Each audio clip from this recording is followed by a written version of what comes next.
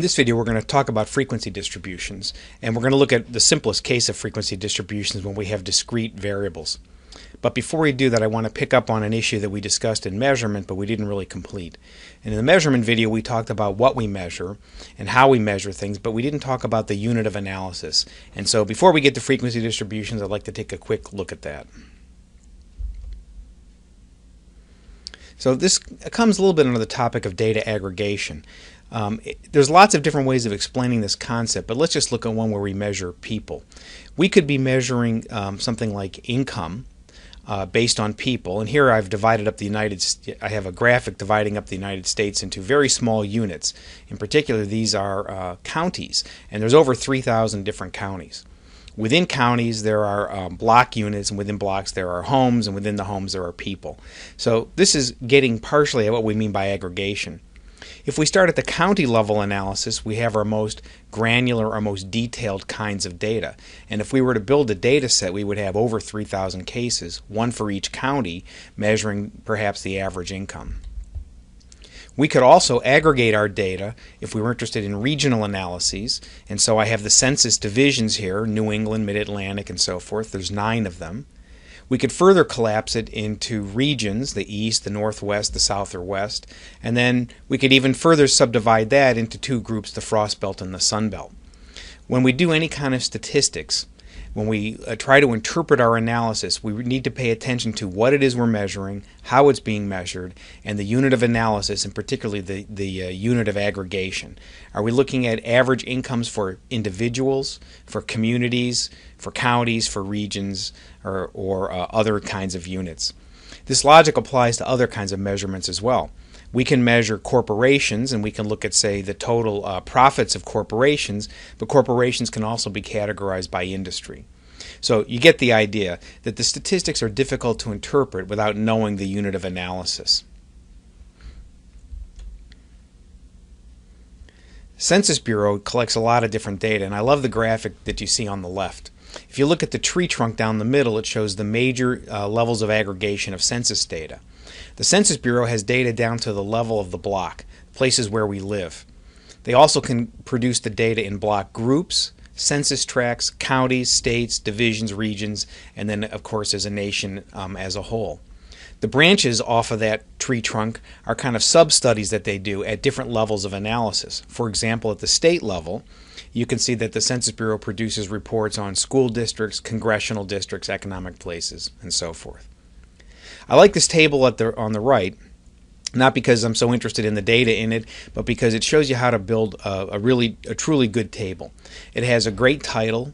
By looking at the title, you tell you can tell exactly what's in the table. So if you were looking through the, the table of contents or to find a listing of tables online, you would know if this is what you were interested in. At the bottom of the table uh, are, is a footnote that explains where the data comes from. This is really important to verify. There's so much data available today, and often people have a political uh, bent to the kind of reporting that they're doing, and um, they, they kind of cherry pick data to make a point. And so, um, you know, and that's okay, I think, as long as you know where they're getting their data from and you can evaluate whether you think um, the, the quality or kind of data they used influences their uh, conclusions. So we have a really good example here of a nice footnote describing where the data come from. And then in the table, we have just a ton of information.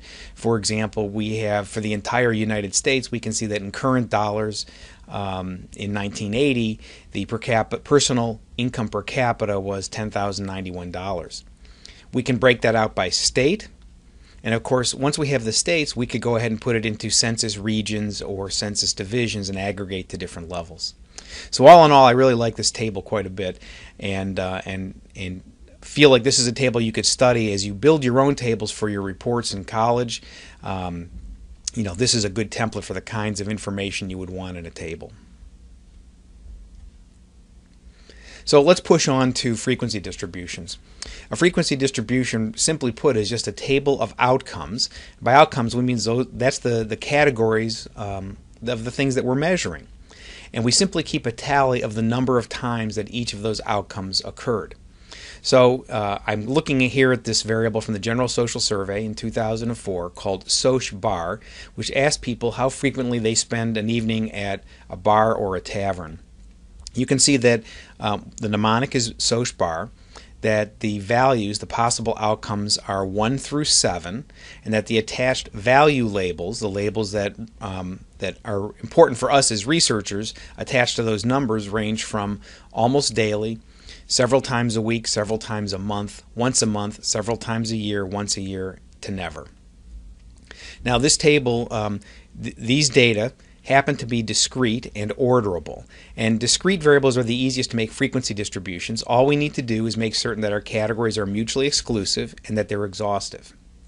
By mutually exclusive, what I mean here is that when I look at a person's survey response, I can assign them to one of these cate- one of these seven categories, but only to one of the seven categories. And by exhaustive, it means that I don't have something left over that doesn't fit into a category. Sometimes you'll see an other category for things that are um, difficult to classify, and sometimes you'll just see those, those responses dropped from the analysis. In our frequency table itself, we, we can provide the frequencies in um, three different ways. One, we could just provide the simple counts. So we can see that in 2004, uh, out of 905 people in who responded to this question, 432 responded that they never socialized at a bar or a tavern. Um, we can convert those frequencies to percentages. So in that same category, we take 432, divide that by 905, and uh, multiply that by 100 and find out that approximately 48% of the people sampled in 2004 never spend an evening at a bar or tavern. And then we can produce what's called the cumulative frequency distribution, which in this case starts at the bottom and just adds up all those individual percentages. So the first one is 0.07. The second one is 7.8, which is 7.2 plus 0.7. There's a little bit of rounding error here. And it tells us that 7.8% of the sample uh, claim to go to a bar or tavern several times a week or less. If we go look at another number, category 5, the several times a year, we can see the cumulative frequency distribution is 36.6, which tells us that approximately 37% of our sample uh, claim to go to a bar several times a year or less. That is, that's the value of the 11.9% in category 5, plus the 10.1 in category 4, plus the 6.7 in 3, the 7.2 in 2, and the 0.7 in category number 1. So this is pretty much the, uh, what a univariate frequency distribution is. But I'm going to give you a little bit more information on how to construct this kind of frequent um, this kind of frequency distribution and why percentages are preferred. So in the old days when we did this kind of stuff by hand, we might go out on the street and ask people their party identification. And we would make a tally sheet. And here you can see that uh, every time a person told me they um, were a member, they identify with the Republican Party, I put an X in a box, and I've grouped these X's in groups of five so that they're very easy to count. So at the end of this, I would get rid of the tally marks, the X's, and just leave me with the frequencies, the 37, the 47, 23, and so forth. This table, again, I'm trying to follow some good uh, design principles, has a nice title, and you'll notice I do have a source of the data, and um, this tells you not to trust these data, that these are just made up for an example here.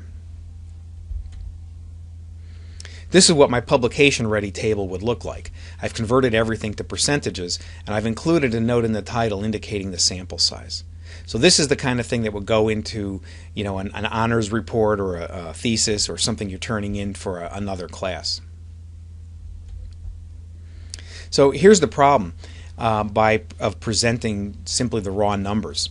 If I go out and now I repeat my study, and I've done this in two different places, I've done it in small town and big town, and I've calculated the frequencies of party identification for each of these locations.